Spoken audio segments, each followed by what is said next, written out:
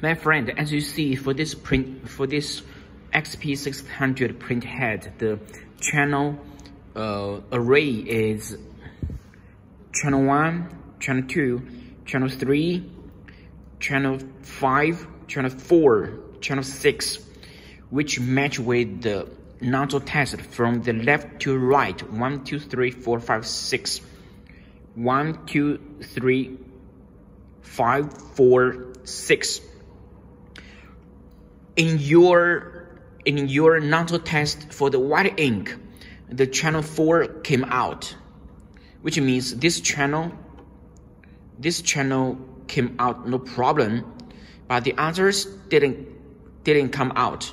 So I suggest exchange the damper, this one and this one, and clean, flush, and print the nozzle test again, and see if this, if the last channel come, come out or not, because now we know at least, now we at least know that for this channel, the ink supply system and the the channel has no problem. So we, after exchange the damper, then we test. Careful when you take, take it out.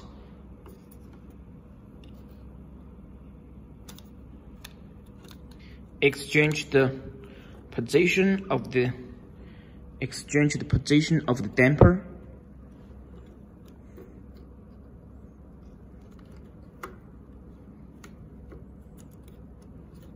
exchange the damper of the of the now the sixth one put put it put it on the four the four fourth one put on the sixth. and clean and to see to see the nozzle test